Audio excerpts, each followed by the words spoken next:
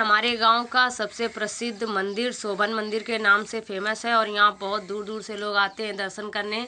तो पूरा वीडियो सही से नहीं बना है क्योंकि मैंने ये वीडियो बाइक पे बनाया था, इसलिए थोड़ा सा हिला हुआ है और कोशिश की है कि आप लोगों को पूरा मंदिर दिखा सकूँ।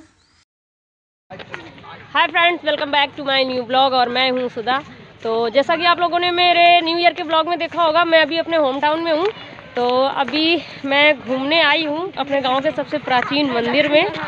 तो मंदिर के अंदर का तो कुछ भी नहीं दिखाऊँगी आप लोगों को, बस बाहर से दिखाऊँगी मंदिर कितना बड़ा है और ये पीछे मेरी सिस्टर है और सब आगे भाग गए हैं। बस ब्लॉग बनाने के चक्कर में मैं ही पीछे रह गई हूँ।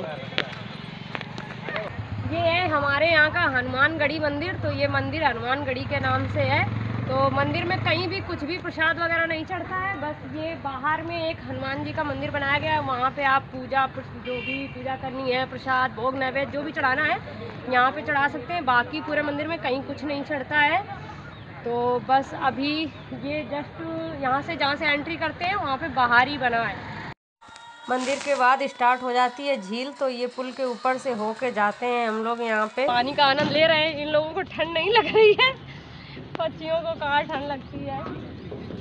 जैसे ही मंदिर में आते हैं एक तरफ़ हनुमान जी का मंदिर है और एक तरफ़ ये अखंड यज्ञ चलता रहता है यहाँ पे तो और ये आप देख सकते हैं दूर से आपको छोटा छोटा बना हुआ दिख रहा होगा। ये जाली में लोग यहाँ पे अपनी मन्नतें बांधते हैं मन्नत के धागे बने हुए हैं। और ये है लक्ष्मण जी का मंदिर तो इनके बगल में ही पास में सीताराम का मंदिर है और ये लक्ष्मण जी का मंदिर है। देख सकते हैं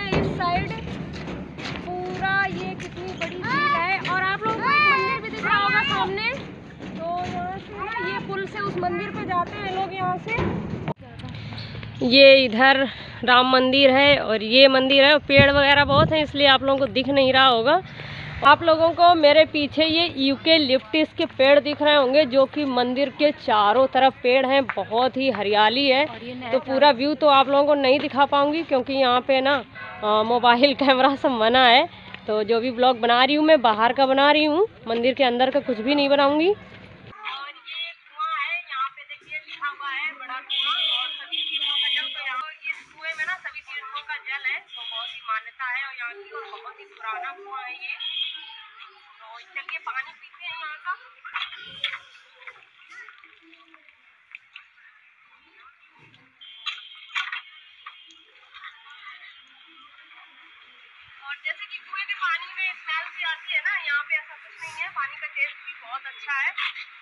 बिल्कुल ऐसा लग रहा है जैसे गंगा जल पीते हैं ना हम लोग वो वाला टेस्ट आ रहा है।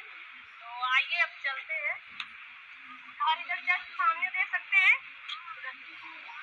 जस्ट सामने इधर देख सकते हैं, हनुमान जी का मंदिर है।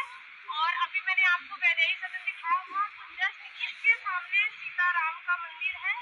तो बस मंदिर के अंदर का फ्रेंड्स कुछ भी नहीं दिखाएँगे। और इधर से पूरा व्यू देखिए आप लोग। ये बस चारों तरफ़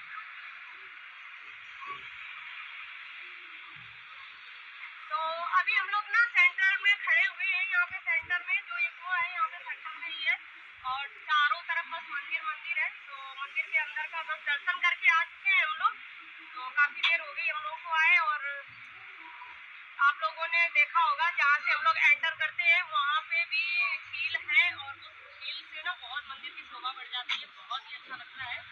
अब चलते हैं यहाँ पे, पूरा मंदिर तो घूम लिया हमने, प्रसाद वगैरह कुछ नहीं चढ़ाया था। तो अभी हस्बैंड ने प्रसाद ले लिया है, बस अभी यहाँ पे प्रसाद चढ़ाएँगे और सीधे घर चलेंगे। प्रसाद चढ़ा के मैं आ चुकी हूँ बाहर और ये देखिए बच्चे आदि और दिव्यांशु हैं, खेल रहे हैं, भाई भी यहाँ पे खड़ा हुआ है तो यहाँ पे कार पार्किंग है और कार पार्किंग बिल्कुल फ्री है यहाँ पे, कोई चार्ज नहीं लगता है। कहीं भी गाड़ी पार्क कर सकते हैं क्योंकि बहुत यहाँ पे जगह है।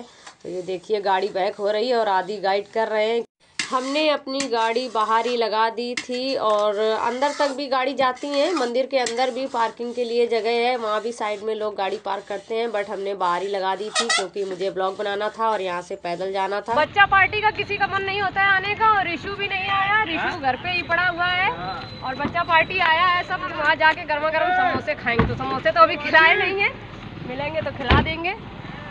ये है यहाँ की मार्केट। तो ये डेली लगती है मार्केट। यहाँ पे अपना प्रसाद वगैरह ले सकते हैं खाने पीने की चीज़ें ले सकते हैं। और ये देखिए पीपल के पेड़ पे कितने सारे कौवे बैठे हैं। तो शहर में तो आजकल कौवे देखने को ही नहीं मिलते हैं। और यहाँ पे देखिए मंदिर में सब पक्षी आपको देखने को मिलेंगे। और संध्या और भाई ये समोसे लेके आ चुके हैं। दर्शन कर लिए सब लोग बैठ गए गाड़ी में तो घर से ज़्यादा दूर नहीं है एक दो किलोमीटर ही है। तो अभी गाड़ी थी तो गाड़ी से आ गए पहले तो हम लोग सब पैदल भी आ जाते थे और ये देखो समोसे आ गए इन लोगों के। पीछे रखे इनको बता रही हूँ कि अभी जहाँ पर हम लोग खड़े हैं ना अपने कॉलेज के पास खड़ी हूँ। कॉलेज नहीं स्कूल तो उस समय टेंथ तक स्कूल था तो यहीं पर खड़े हम इधर सामने। ये देखो। ये दिख रही है बिल्डिंग इधर। बढ़िया है तो बहुत अच्छा हो गया नया। पुराना था पहले अब न्यू हो गया है। संध्या खरीदने लग गई है यहाँ पे सब्ज़ी टमाटर और क्या क्या लेना संध्या? अभी मटर लेना है अदरक लेना है गोभी लेना है।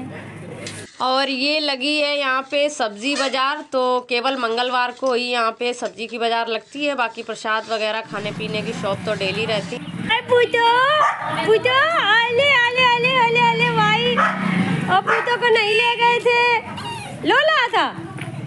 और ये देखिए गाड़ी बाहर चबूतरे पे पार्क कर दी है और ये रिशु घूम रहा है गया नहीं था और मम्मी आग जला के बैठी हैं तो संध्या आग तापने लग गई क्योंकि संध्या के सिर में हो गया था दर्द। तो ये देखिए ये है हमारे घर का डॉगी रॉकी। तो प्लूटो और रॉकी अच्छे से खेलते हैं दोनों। और ये देखिए रॉकी भी हमें देख के कैसे पूछ हिला रहा है और ये प्लूटो चिढ़ता है। अगर मैं रॉकी को खिलाती हूँ तो प्लूटो बहुत चिढ़ता है। प्लूटो इतना चिढ़ रहा था, फिर देखो ये भी प्लूटो को प्यार कर रहे हैं तो प्लूटो बस ये सोचता है, मुझे ही प्यार करे, रॉकी को कोई प्यार ना करे। फ्रेंड्स आप लोग देखिए मेरे मायके का घर तो ये देखिए ऊपर, ये इतनी बड़ी रेलिंग है तो काफ़ी लंबा चौड़ा बड़ा घर है तो शहर में तो इस घर की कितनी कीमत होगी, और ये देखिए बाहर गाड़ी खड़ी है, और ये सब देख सकते हैं आप। तो सर्दियों में कपड़े नहीं सूख रहे हैं, सब बाहर ही पड़े हुए हैं और इधर ये सामने बहुत बड़ा प्लॉट है, वहाँ भैंस वगैरह बंधी हुई है और दरवाजे पर एक नीम का पेड़ भी है। तो आज का ब्लॉग आप लोगों को कैसा लगा अच्छा लगा हो तो प्लीज़ वीडियो को लाइक कीजिए सब्सक्राइब कीजिए। मिलती हूँ एक और नए ब्लॉग में, जब तक के लिए बाय